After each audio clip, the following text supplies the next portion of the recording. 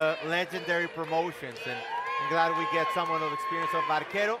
As we see, both came right on in the scale. Very close in terms of age, reach advantage for Irvin Amaya. The favorite is also Amaya, according to Team Mexico, minus 130. So Mexico versus Costa Rica. We've seen amazing matches when it comes to soccer. We've seen great fights here inside the Lux cage. Can't wait.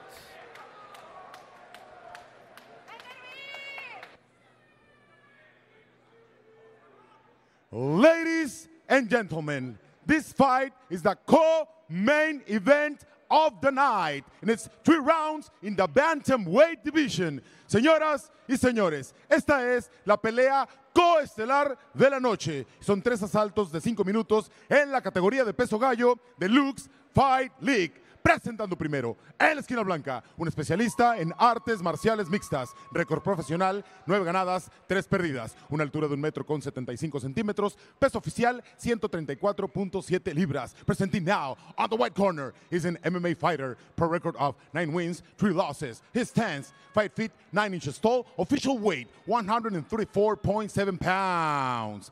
Fighting straight out of Monterrey, Nuevo León, México.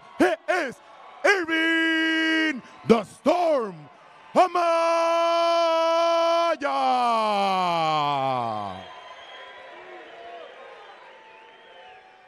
Su oponente al otro lado de la jaula, en la esquina negra, un especialista en jiu-jitsu y boxeo, récord profesional de 8 ganadas, 2 perdidas, una altura de un metro con 75 centímetros, peso oficial 135.2 libras. Presenting now on the black corner is a jiu-jitsu and boxing fighter, per record of 8 wins, 2 losses. His stance, 5 feet 9 inches tall, official weight 135.2 pounds. Fighting straight out of Cartago, Costa Rica. He is André Barquero.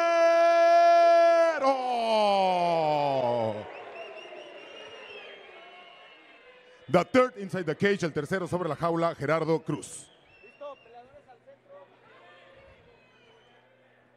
So our co-main event of the evening, ready to start. Gerardo Cruz will be the referee for this match. Would it be safe to say this is a title eliminator? For fight? sure, I would, I would very much say so. Yeah, yeah. Amaya has been waiting for that opportunity for a long time.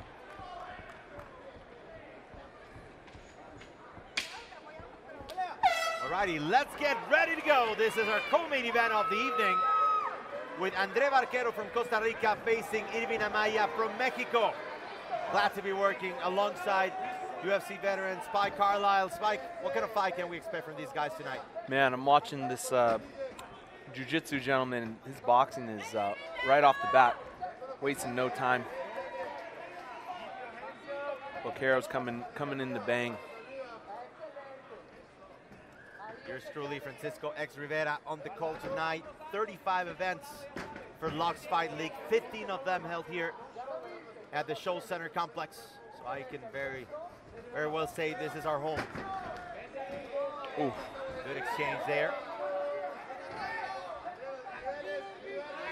Maya needs to get his range going, keep his jab going. Naja going for the takedown. But good resistance there from Andre Barquero. Nice exchange by both of them. Good knee by Barquero. See if Amaya can work the knees there. Good block right there from Barquero trying to create some distance on the clinch.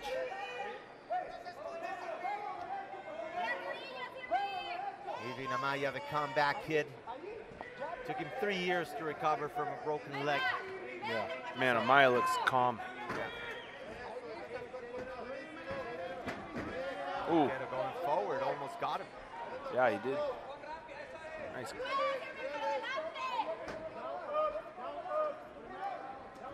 Barquero once again putting Amaya in trouble. Yeah, both their right hands are landing.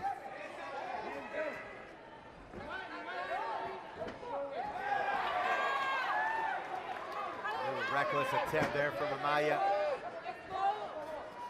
Wow, going for the overhand right.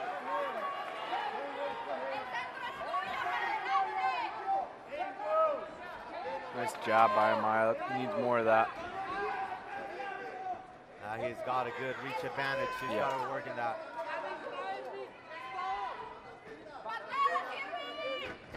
Oh wow, Irvin Amaya with the one-two. Yeah, he's keeping him just at the end of his punches.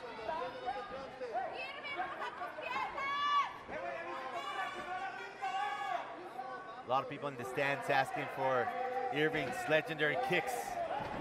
So far, it's been a good boxing match. Yeah, Now Barquero, nice double leg, got his hands locked. Able to finish that takedown. See what the black belt has in store.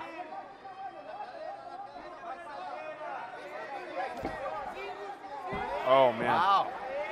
He got the back, and he's a Brazilian Jiu-Jitsu black belt. Yeah. Cage is kind of blocking. Oh, nope. He just took that away. That's ooh, Oh. good jujitsu. Wow. Nice back Hooks take. are in.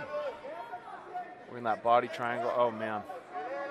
Yeah, and he's got plenty of time. Bodies are fairly dry.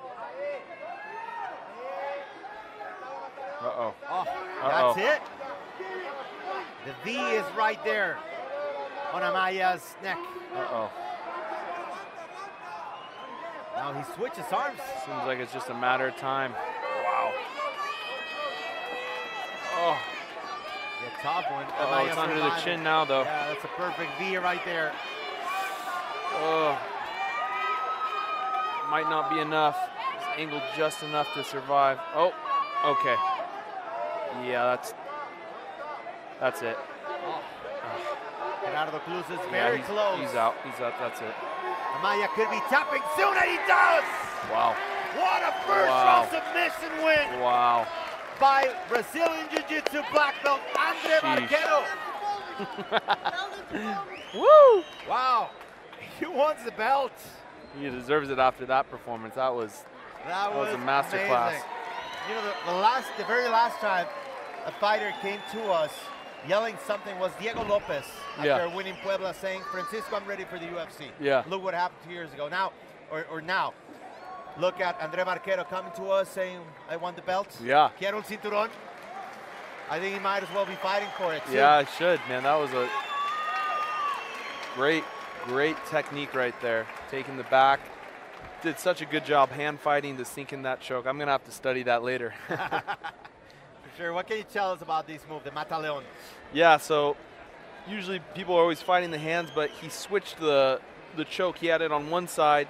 Um, Amaya was able to get out of it, and he instantly went to the other side. And it's just a matter of time when you have a guy that skill on your back.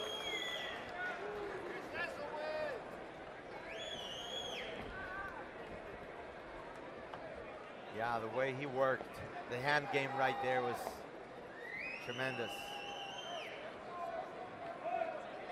Sometimes just by seeing the face of the opponent, you can tell Yeah. that was close to the end.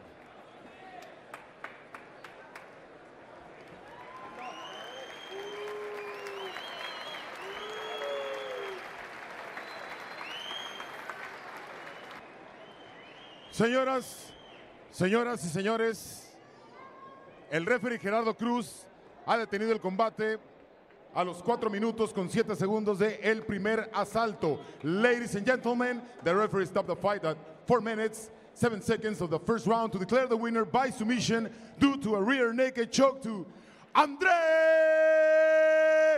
Marquero.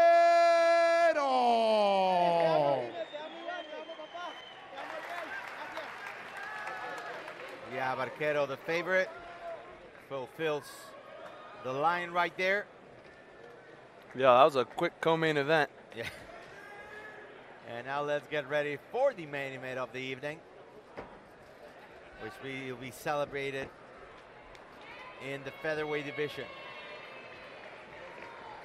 And Barquero's team proudly holding the Costa Rican flag. We already have a Costa Rican champion in the flyweight division, Jorge Calvo. And they might very well be pushing for a belt in the bantamweight division. So Coming up next, our main event of the evening, Edgar El Cebollero Delgado from Costa Rica's